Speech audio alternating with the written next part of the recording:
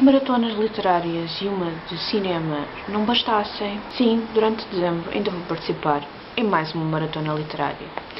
E é a Christmas Reading Party, que é organizada pelo, eu não me esqueço do nome de ninguém, Vasco, eh, do canal Creepy Santos, do Filipe, do YA Reader, do Tiago, do Tiago's World, da Mariana, do Efeito M e da Inês, do Myself Inês. Acertei todos! E de cabeça! Eles uh, criaram cinco desafios e eu vou dizer-vos o que é que planeio ler para cada um desses livros. O primeiro desafio é ler um livro que transmita conforto. E por isso mesmo, eu vou tentar ler o Letters from Father Christmas do Tolkien.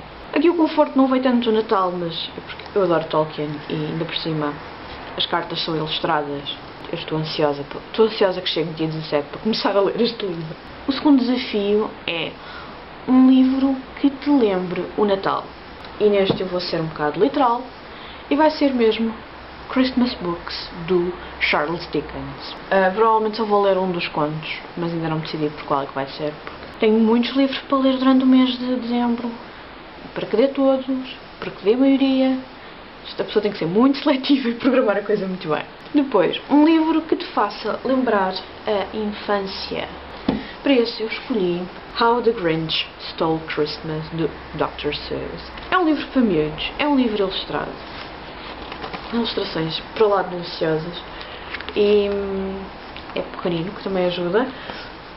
E por isso mesmo é outro livro que eu estou com bastante curiosidade para ler realmente pela primeira vez o livro. Quarto desafio, um livro que te tenha sido oferecido. E este para mim foi o livro em que eu tive mais dificuldade em arranjar porque há muitos anos que já sou eu que compro os meus próprios livros e é raro acontecer hum, alguém oferecer-me um livro. É triste verdade.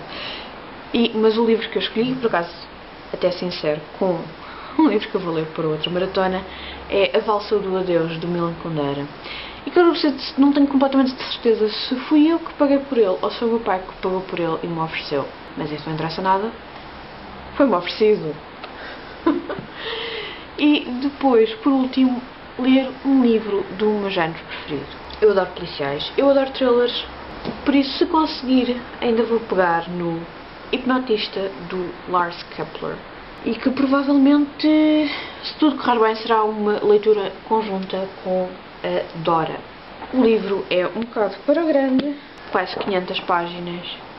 A letra é um bocado pouco pequenina, mas eu acho que a história vai me prender e vai fazer com que eu leia. Esta é a minha TBR, um bocado ambiciosa.